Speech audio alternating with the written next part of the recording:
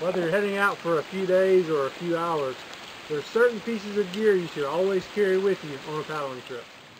A spare paddle, always your PFD, with a safety whistle attached.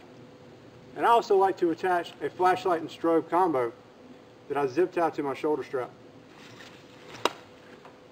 In case of a rescue, always bring along your paddle float, your bilge pump, and your rescue stirrup. If you're paddling with a group, especially if there's kids along, it's always a great idea to have your tow line. You never know when somebody may need help getting back to the launch. A means of communication, a cell phone if you're going to be in range, or a VHF radio if you've been trained how to use it. It's also a great idea if you bring a cell phone to have some way of waterproofing it.